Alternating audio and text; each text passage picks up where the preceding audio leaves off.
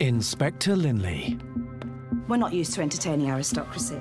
With his intellect. Treat it as a possible suspicious death. And her instinct. My sergeant here is very good at spotting liars. There's no hiding the truth. Knowing who you can or cannot rely on in a crisis is vital. Sergeant Havers stays. I need you to be my eyes and ears here, Sergeant.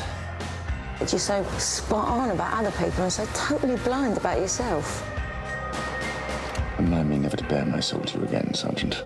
Inspector Lynley Mysteries starts Good Friday on Drama.